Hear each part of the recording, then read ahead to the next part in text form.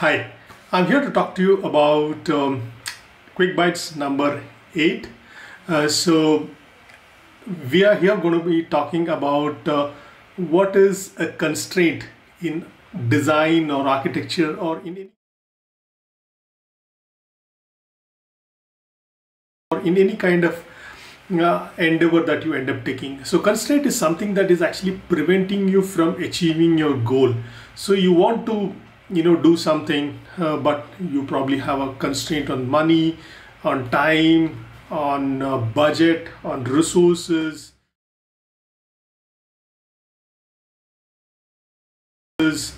So it could be any kind of a constraint that is there. So that's quite easy to understand right? So you uh, probably want to you know uh, buy uh, a good car or a better house then you could actually have a constraint in terms of the budget in terms of the money.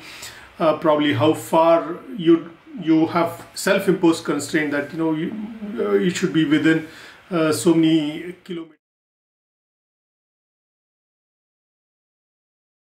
kilometers from my workplace and so that's a self-imposed constraint. So you could have self-imposed constraints and you could have uh, external constraints also on what you're trying to do. So basically, mm, let us say that um, you know you are uh, uh, trying to uh, build the architecture for a product and solution, and you've got a constraint that we should be having, we should build, uh, promote more build versus uh, rather than buy. so you probably play around with a lot of open source and those kind of things. So you you would actually avoid buying expensive software. So that's a constraint uh, that uh, you have because they say architecture and then maybe you could have a constraint in the architecture saying that uh, we will support REST based architecture or microservices based architecture. So if you have to truly create a REST based or microservice architecture,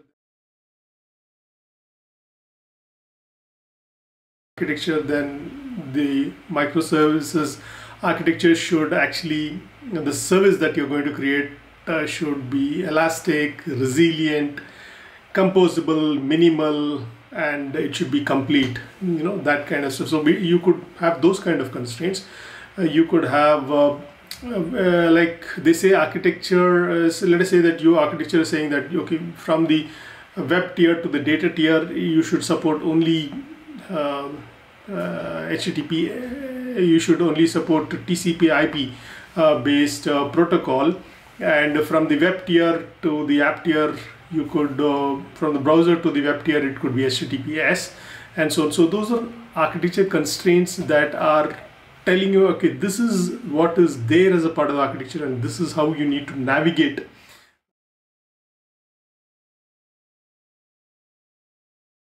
those things uh, in the architecture. So because they say architecture is like concrete, so once you allow it to settle, it's very hard.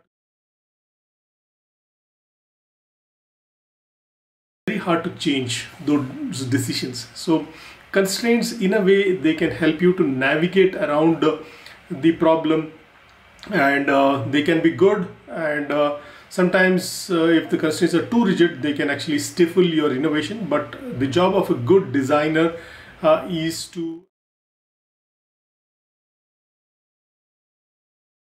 to actually make sure that uh, you are using them to your advantage and creating solutions uh, that would be required. So in the case of Airbnb, it appears that when they were trying to build the system, so they had a constraint that whatever they need has to be scalable, and uh, you know that was the constraint that uh, they had in mind right from the beginning.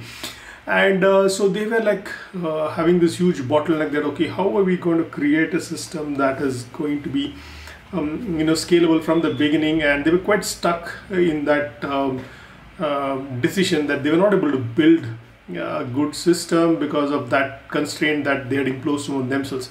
So one of the venture capitalists uh, who was funding the venture uh, told the told the founders, okay, you don't have to scale the system, you build the system and the scaling part we will see. So once that constraint was removed, Uh, so their energies were spent on actually making it work. And uh, once they made it work, then uh, you know scaling the system was a byproduct. So they could do it uh, quite easily. Uh, so at times you need to give permission to yourself to you know move away from your own self-imposed constraints. And if you're able to do that, then that can improve innovation as well. So Don Norman, who is uh, uh, uh, considered as uh, an UX guru in design.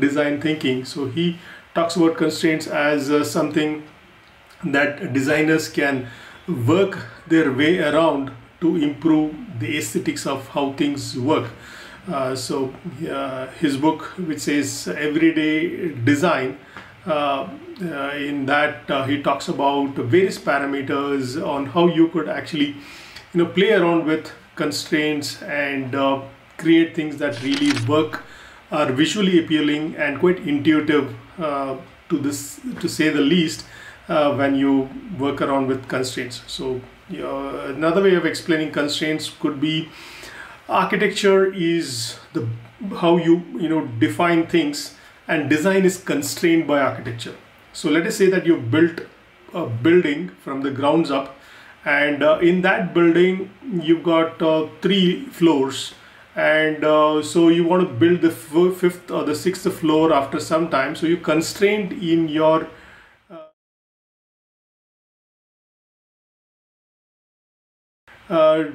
uh, design because the founding fathers of the architecture laid the uh, floors is that it supports only three floors. Now if you to build the fourth and the fifth, so it's not supported in the architecture. But you could very well change how many rooms each floor could have. So that's a design decision. So uh, design decisions are easy to change. Architecture decisions are hard to change. So this is uh, something that you need to know uh, that uh, design is always constrained by architecture. Architecture gives you the high level um, uh, big picture uh, building blocks of what needs to be done. Design actually fits into that um, uh, bucket of what architecture has imposed on it. So architecture says what needs to be done and design ensures that okay are we following those architecture principles by doing it effectively. Uh, so this is a short tip on uh, the uh, constraints uh, part of it. You could actually go on and on and uh, there are a lot of other things that we could talk about here but I just want to leave you with this quick tip on how to use constraints effectively while designing systems building architectures and so on. So thank you very much.